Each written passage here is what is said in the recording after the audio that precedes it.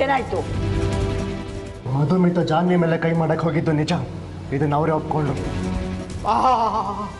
ಇದನ್ನ ಅವಳು ಬಾ ಬಿಡ್ಸಕ್ಕೆ ಇಷ್ಟ ಟೈಮ್ ತಗೊಂಡ್ಯಾ ನೀನು ಅಮ್ಮಂದ್ರು ನಿನ್ನ ಹೆಂಡತಿ ಬೊಂಬಡ ಬಜಾಯಿಸಿದ್ರು ನಿಂಗೆ ನಂಬಿಕೆ ಬರಲಿಲ್ಲ ಅಲ್ಲ ಈಗ ಸತ್ಯ ಎಲ್ಲರಿಗೂ ಗೊತ್ತಾಯ್ತಲ್ಲ ನಮ್ಮನೆ ಸೊಸೆ ಮೇಲೆ ಕೈ ಮಾಡಕ್ ಬಂದಿರೋವಳನ್ನ ಸುಮ್ಮನೆ ಬಿಡಬಾರ್ದು ಪೊಲೀಸ್ಗೆ ಕಂಪ್ಲೇಂಟ್ ಕೊಡಬೇಕು ಅಜ್ಜಿ ಪೊಲೀಸ್ ಕಂಪ್ಲೇಂಟ್ ಎಲ್ಲ ಬೇಡ ಹಾಗೆ ಮಾಡಿದ್ರೆ ನಮ್ಮನೆ ಮರ್ಯಾದೆನೇ ಹೋಗೋದು ಅವ್ರನ್ನ ಈ ಮನೆಯಿಂದ ಆಚೆ ಹಾಕಿ ಸಾಕು ಹೌದು ಅತ್ತೆ.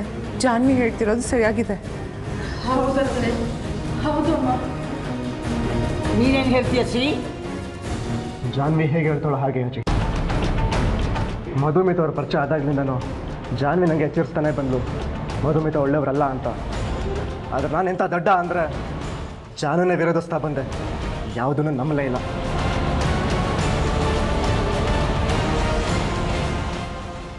ಮಧುಮಿತ ಅವ್ರ ನಾಟಕಕ್ಕೆ ಬಲಿಯಾಗಿ ನನ್ನ ಜಾನನ ಓವರ್ ಪೊಸೆಸಿವ್ ಬಂದೆ. ಮಾನವೀಯತೆನೇ ಇಲ್ಲ ಅಂತ ಹಂಗಿಸ್ದೆ. ಆದರೆ ಇವತ್ತು ಮತ್ತೆ ಪ್ರೂವ್ ಆಗೋಯ್ತು ನನ್ನ ಜಾನು ಯಾವತ್ತಿದ್ರು ಕರೆಕ್ಟು ಅಂತ. ಪ್ರತಿ ಸಲ ನನ್ನ ಜಾನು ಮುಂದೆ ಅಪರಾಧಿಯಾಗಿ ನಿಲ್ತಿದ್ದೇನೆ.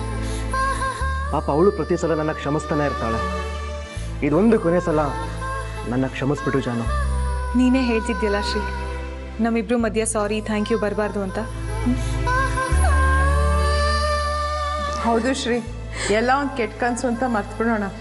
ಅದ್ ಹೇಗ್ ಮರೆಯಕ್ಕಾಗತ್ತಕ್ಕ? ಅವ್ರಿನ್ನೂ ನಮ್ಮ ಮನೇಲೇ ಇದಾರಲ್ಲ ಆ ಹೆಂಗಸನ್ ಕರೀರಿ.